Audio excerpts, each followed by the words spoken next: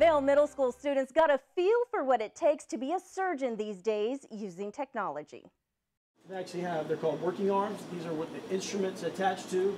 There is a new robot in town named Sarah. It stands for Surgical Assistant Robot and Helper, and it's part of the Da Vinci surgical system. Sarah resides at Christus Santa Rosa Hospital, Westover Hills. It actually uh, allows the doctor to make much more precise cuts so there's less tissue damage. He can focus his surgery more. It makes the recovery much faster for the patients. The robot was named by Vale Middle School student Kevin Paulino after a robot naming contest was held amongst his classmates, and the rules were simple to enter. Basically just saying to give a name and to give a purpose as to why they named that. And so we had all sorts of names turned in.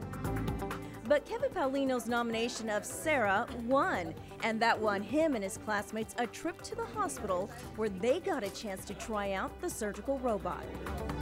It was pretty hard because you gotta be specific grabbing the, the, the surgery thing.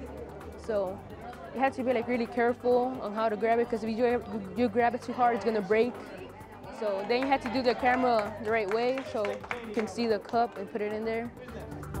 The students practiced on picking up candy with tiny instruments that bend and rotate beyond the human hand. They did this while looking through a magnified 3D high definition system.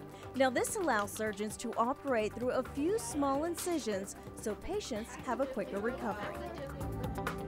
This is a new skill, and actually the kids will probably do very well with it because it requires that fine motor skills that they use when they play video games. For these eighth graders controlling Sarah, it is somewhat like a video game to them, but it is also opening up their world to science and medicine.